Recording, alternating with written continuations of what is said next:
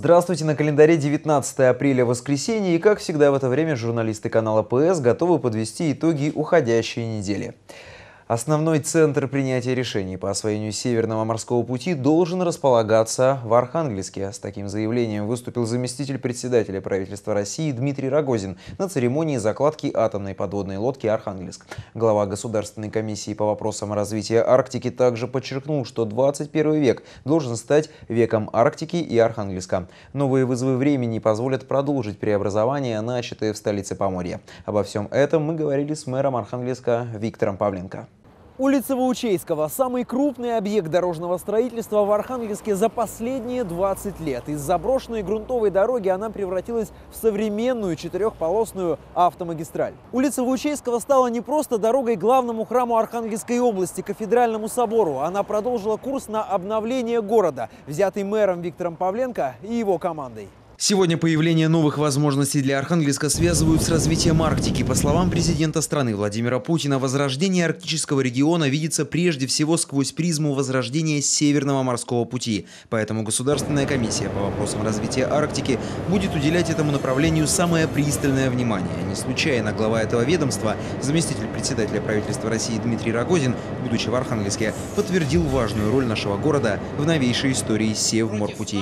Заявление э, Дмитрия Олеговича э, Рогозина, вице-премьера, о том, что надо не в теплых кабинетах Москвы, а передвигать все э, значит, решающие органы вот, и структуры сюда, в Архангельск, Мурманск, Ненецкий автономный округ, по, по всему, так сказать, Севморпути, это, конечно, очень хорошее заявление. Особенно, конечно, мне понравилось его заявление, что 21 век – это век развития Арктики, и э, города Архангельска. Путь России в Арктику начинался из Архангельска. Наш город и сегодня не растерял своего потенциала для продолжения исследований в этой точке земного шара. 10 лет назад в стратегии развития города Архангельска уже предусматривали. Это Северно-Арктический федеральный университет, а вот он уже образован там, а мы это в стратегии прописывали. Развитие э, Арктики, Севморпути. Э, конечно, город Архангельск Э, это ворота в Арктику, некоторые пытаются назвать, что это уже исторические ворота. Я с этим категорически не согласен, потому что все предпосылки и транспорта, и порта, и развития глубоководного порта в городе Архангельске, они есть. Э, просто если это сойдется действительно в программе развития Арктики в целом, то Архангельск будет снова занимать ведущее место. Немалая роль отводится Архангельску в решении вопросов национальной безопасности. Легендарный завод «Красная кузница» снова должен стать стать одним из флагманов судостроения. Федеральная программа развития этой отрасли, рассчитанная на 5 лет, предусматривает более 10 миллиардов рублей для модернизации предприятия. Красная кузница есть пример все-таки развития производства. Угу. Ну, предприятия, которые там в свое время там разбазарили, э, распродали и так далее, государственное предприятие, мощнейшее там 150-летняя история. Красная кузница знаменитая, где первые там суда Петр Первый еще строил. Сейчас вот наступила такая агломерация и корпорация с Севмаш предприятием, государственным предприятием, и существует государственная программа развития э, этого завода. Поэтому мы видим вот перспективу все-таки развития города Архангельска с вот такой, ну, военно промышленной, судостроительной, а в дальнейшем то, что мы говорим, развитие Арктики и производство вот для Арктики вся работа, вот именно в развитии вот Красной Кузницы. В рамках государственной программы развития судостроения планируется строительство нового жилого микрорайона в Соломболе на 40 тысяч квадратных метров. Уже есть инвестор, готовый приступить к их возведению. Кстати, об инвесторах. Общий объем инвестиций в строительство превышает 9 миллиардов рублей. Сейчас в Архангельске идет строительство 55 жилых домов, общая площадь которых 363 тысячи квадратных метров. Городская программа развития застроенных территорий стала эффективным механизмом привлечения инвесторов они строят э, жилье коммерческое, так его назовем, да, и при этом расселяют. Э, вот на сегодняшний день уже там 150 э, квартир, они выделили переселили людей из ветхого жилья. То есть мы, не вкладывая средств бюджетных, решаем эту задачу ликвидации ветхого жилья. А посмотрите, сколько инвестиций они вложили на перекладку инфраструктуры, все же новое.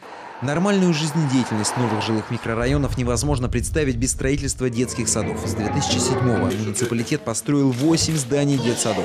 Сдается по одному детсаду в год. Мы последовательность, несмотря на всякие трудности, мы двигаемся. Есть у нас сегодня заделы еще на 2-3 садика. Конечно, потребность есть порядка там 7-8 детских садов. Мы, э, конечно, вот, э, ну, один построили по частно-государственному партнерству, остальные восстанавливаем, возвращая их в систему дошкольного образования.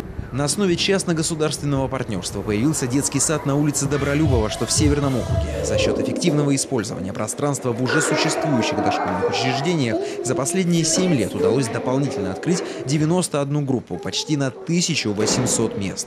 Кроме того, продолжается работа по возвращению зданий детских садов, которые в 90-е годы были переданы различным структурам.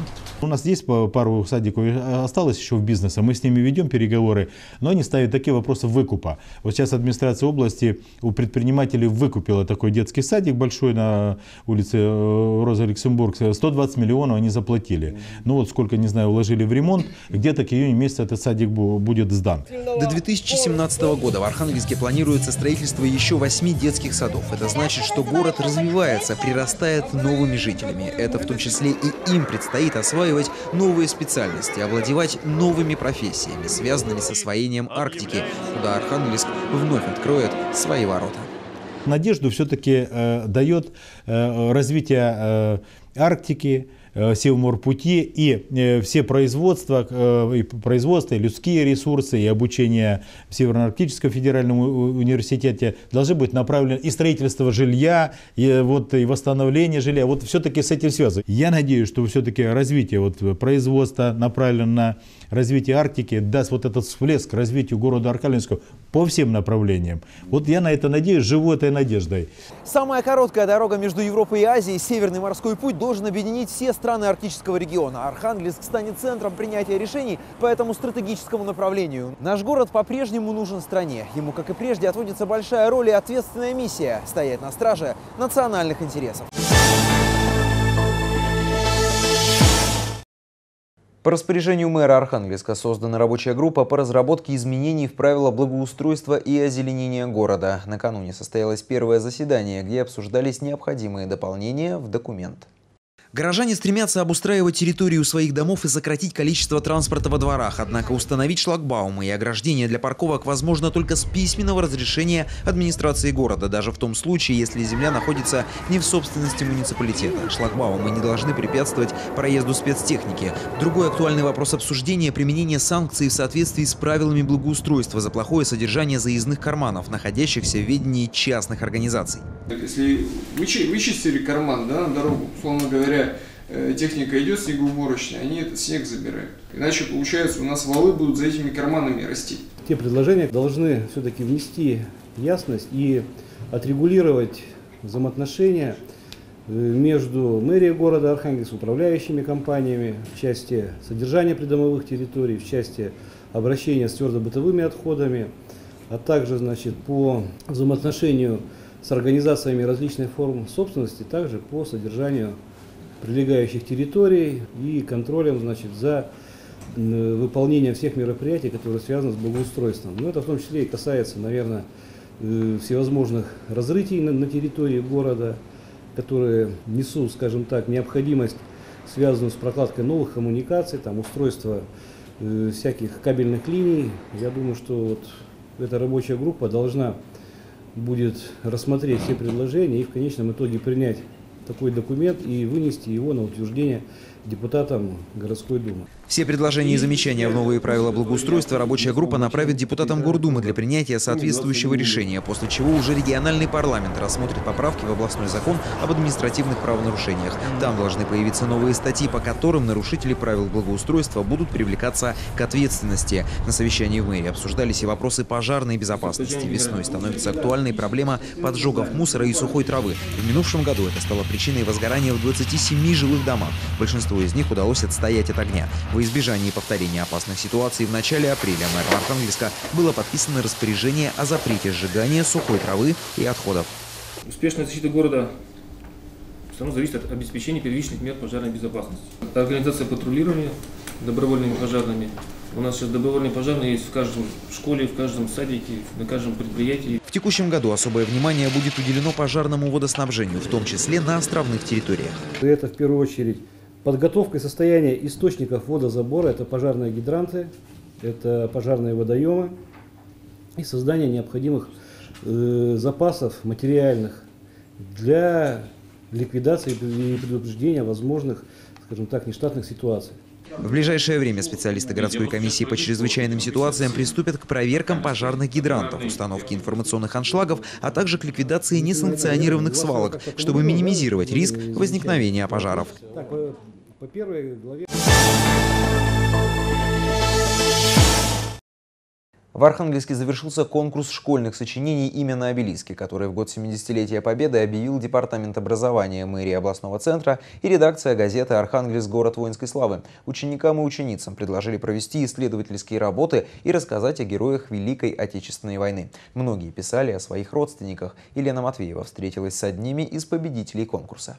Дарья Хомякова отлично помнит рассказы своей прабабушки Марии Дмитриевны о скромном и очень добром парне, герое Североморца Алексея Клепаче. Оба до войны работали здесь, в Дупо на станции Сокогорка. Леше суждено было повторить подвиг Александра Матросова. В октябре 44-го в ходе Пиццамо-Киркинесской операции 20-летний автоматчик Клепач закрыл собой амбразуру немецкого ДОТа. Его посмертно наградили орденом Отечественной войны второй степени.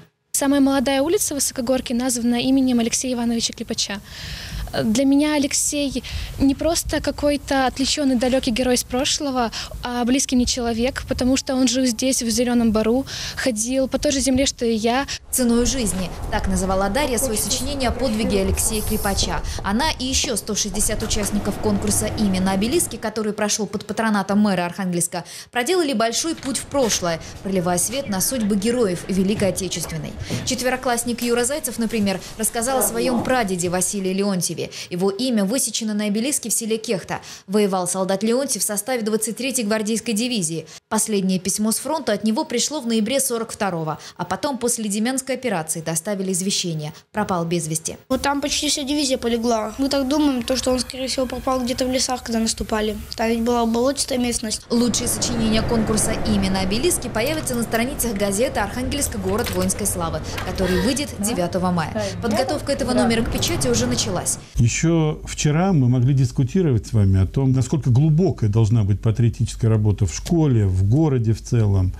Сегодня Украина, события на Украине дают нам а, полномасштабный ответ на все наши вопросы, на все наши сомнения. И в этом плане а, инициатива мэра города Архангельска о том, чтобы мы провели вот этот конкурс а, «Имена на обелисках», как раз говорит о том, что мы Э, способны хранить память о войне, способны хранить память о людях, которые принесли победу, э, и мы умеем быть им благодарны. И вот сочинения школьников это еще раз нам показали. А еще сочинения доказали, герои не умирают, они навсегда остаются в памяти. 9 мая, в день 70-летия Победы по Троицкому проспекту, пройдет бессмертный полк. Его история началась в 2012 году. Год спустя ряды полка пополнили и архангелогородцы. С тех пор жители города воинской славы стали активными участниками самой масштабной акции памяти. Три года назад в колонне бессмертного полка по Троицкому проспекту прошло более 400 горожан. С фотографий на нас смотрят молодые и пожилые, серьезные и улыбчивые герои войны. Это им аплодируют ныне живущие. Это мои братья родные, погибшие в войну. Вот Михаил Васильевич прошел всю войну с 41 по 45 погиб 13 февраля 45 -го года похоронен в Польше. Уже в мае 2014-го в бессмертном полку заметно прибыло. Более полутора тысяч архангелогородцев стали участниками акции. Папа погиб в финскую войну. Пока я побед... было просто извещение с длинным прочерком. Мы вообще ничего не знали. Когда я сумела через центр вот этого патриотического воспитания добыть все сведения о нем, и вплоть до того, что я в прошлом году, в августе, съездила на захоронение в Финляндию с сыном и с племянницей.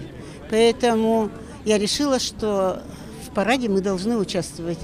Быть участником акции «Бессмертный полк» не только почетно, но и значимо. Жители города Воинской славы Архангельск это отлично понимают. Основное количество э, участников Бессмертного полка, участвующих в митинге 9 мая, это, конечно же, архангелогородцы. Э, для архангелогородцев, для жителей города Воинской славы э, память об участниках Великой Отечественной войны, я думаю, что это очень важно на протяжении многих лет в школах города Архангельска. Педагогические работники, не переставая, говорят со школьниками о том, как важна и свята память о тех, кто участвовал в Великой Отечественной войне и кто завоевал нам победу. И вот эта системная работа привела к тому, что как только организаторы акции «Бессмертный полк» объявили об этом начинании, сразу же сотни архангелогородцев влились в ряды «Бессмертного полка». Присоединиться к акции «Бессмертный полк» может каждый каждый желающий. Для этого нужно прийти в Центр патриотического воспитания и до призывной подготовки молодежи. Там фотографию вашего родственника перенесут на специальный штендер. На него же нанесут имя и фамилию героя в случае, если фото вы не располагаете. Дочь фронтовика Василия Никипелова, Нина Хомякова, решила стать участницей акции. В первые дни Великой Отечественной от отца пришло только одно письмо, а потом с Карельского фронта прислали известие – пропал без вести. И вот теперь, спустя десятилетия, красноармеец Никипелов снова будет в строю. В строю бесстрашных и бессмертных. Это для меня будет что-то такое возвышенное, вот, что наконец-то вот я начала хоть что-то, чего-то про своего папу узнавать. Это очень великое дело, очень. Да, так что спасибо тем, кто это вот придумал. 9 мая «Бессмертный полк» вновь пройдет по Троицкому проспекту. Герои будут смотреть со своих фотографий на жителей города воинская слава, на тех, кому они подарили мир, на тех, кто с благодарностью помнит о них. Фотографии для изготовления штендеров принимаются до 30 апреля в Центре патриотического воспитания и до призывной подготовки молодежи каждую среду с 9 до 17 часов. Адрес центра – проспект Троицкий, дом 118, кабинет 23. Такой выдалась эта неделя для Архангельска. Я прощаюсь с вами до следующего воскресенья с пожеланиями всего самого доброго. Увидимся.